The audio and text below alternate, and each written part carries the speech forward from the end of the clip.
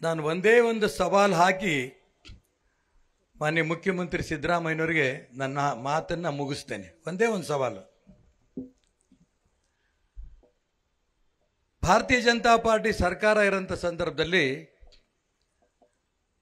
ಸಾಕಷ್ಟು ಭ್ರಷ್ಟಾಚಾರ ನಡೀತಾ ಇತ್ತು ಅಂತ ಹೇಳ್ತಾ ಇದ್ರಿ.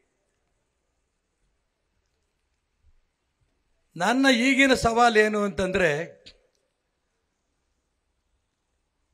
ಗಣಪತಿ ಎದುರು ನಿಂತಿದ್ದೀನಿ ನಾನು. ನನಗೂ ಮಕ್ಕಳಿದ್ದಾವೆ ಸಿದ್ದರಾಮಯ್ಯನವರು ಒಬ್ಬ ರಿಟೈರ್ಡ್ ಅಥವಾ ಹಾಲಿ ಜಡ್ಜನ್ನು ನೇಮಕ ಮಾಡಲಿ.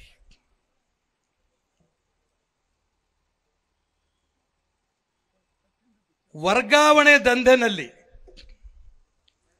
ಭಾರತೀಯ ಜನತಾ ಪಾರ್ಟಿ ಸರ್ಕಾರದಲ್ಲಿ ನೀವು ಹೇಳ್ತಾ ಇದ್ರಲ್ಲ, ವರ್ಗಾವಣೆ ದಂಧೆ ಬಹಳ ನಡೀತಾ ಇದೆ, ಬಹಳ ಜನ ಸಿಕ್ಕಾಪಟ್ಟೆ ಹಣೆ ತಗೋತಿದ್ದಾರೆ ಅಂತ.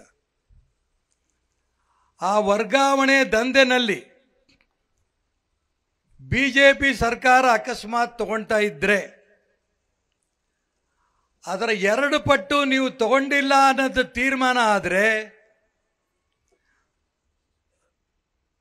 ಆ ಕುರುಡು ಮಲೆ ಗಣಪತಿ ಏನು ಬೇಕಾದ್ರೂ ನನಗೆ ಶಾಪ ಕೊಡಲಿ.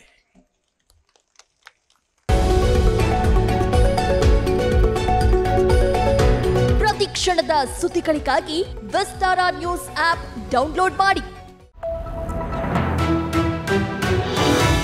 ವಿಸ್ತಾರ ನ್ಯೂಸ್ ನಿಖರ ಜನಪರ.